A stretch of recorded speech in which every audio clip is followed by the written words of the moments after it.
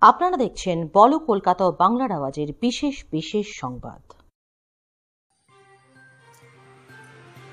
আপনাদের সঙ্গে আমি রীতা।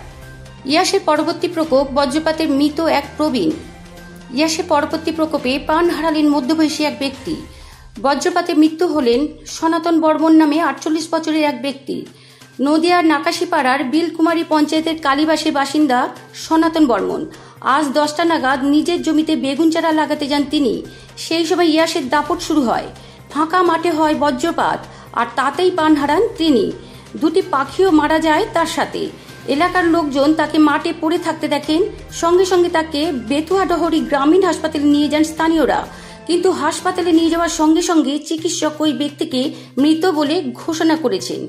জানা গেছে, ওই ব্যক্তির স্ত্রী ও দুই পুত্র সন্তান আছে। আকস্মিক এই ঘটনায় এলাকার শোকের ছায়া নেমে এসেছে। নদিয়া থেকে সায়ন মোদকের রিপোর্ট, বলো কলকাতা ও বাংলার আওয়াজ।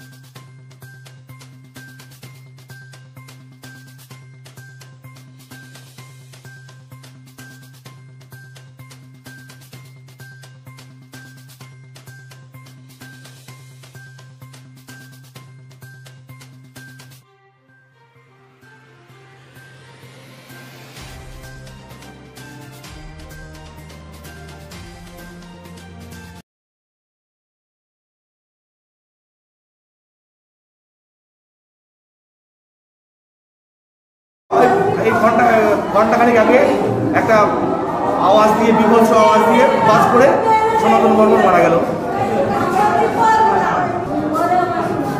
সনাতন বর্মন আজ ওই আনুমানিক দশটার সময় বাড়ি থেকে বের হয় মাঠের উদ্দেশ্যে। মাঠে গিয়ে বেগুন গাছ লাগানোর উদ্দেশ্যে।